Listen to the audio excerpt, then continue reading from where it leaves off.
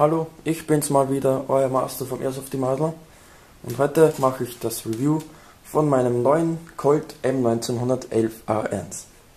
Dieser Colt wurde von Software Sector für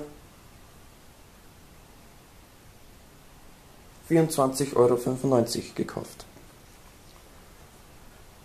An der Verpackung hat man verschiedene Bilder und Warnhinweise in allen Sprachen. Und an der Vorderseite ist sehr viel beschrieben.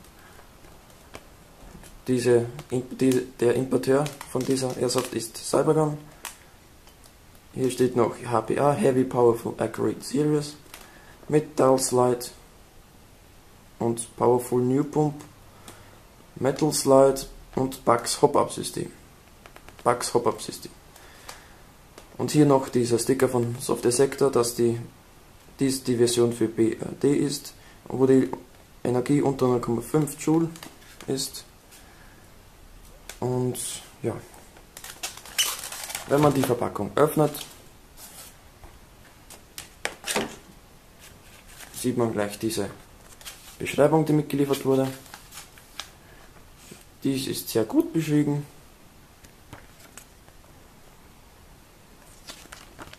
Und an der Innenseite Warnhinweise. Die Airsoft wird in diesen Styropor verpackt. Mitgeliefert wurden ein paar Plastikkugeln, circa 100 Stück. Und natürlich der Colt selbst. Ein sehr schönes Marking ist am Schlitten oben und darunter ist noch eine Seriennummer eingraviert.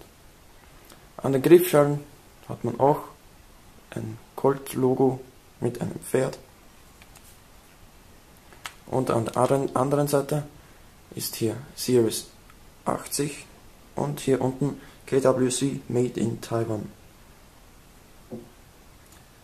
Dieser Schlitten der Airsoft oben ist komplett aus Metall. Fühlt sich sehr, sehr kalt an und der Rest dieser Airsoft ist größtenteils als, aus ABS-Kunststoff. Die Griffschalen jedoch sind etwas gummiert.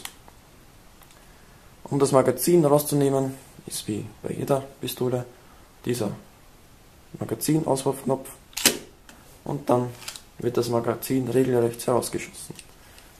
Ins Magazin passen ca. 12 Schuss um das Magazin zu laden, die Feder nach unten ziehen, BBs befüllen und wenn man das Magazin wieder hineinsteckt, löst sich die Feder von selbst.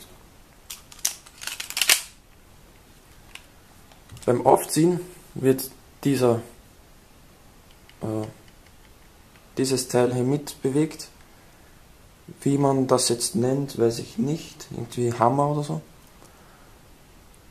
Jedoch muss man vorher die Sicherung lösen. Das geht ganz einfach mit dem Daumen, indem man dieses Teil runterdrückt.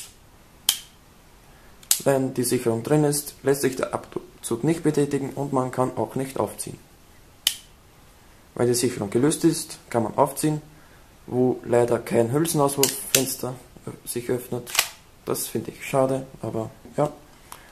Und der Hammer bleibt hinten hängen. Der löst sich erst dann, wenn man abdrückt.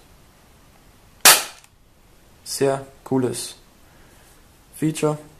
Man kann diesen Hammer auch einfach so runterdrücken und kann so tun, als wären die Patronen verschossen.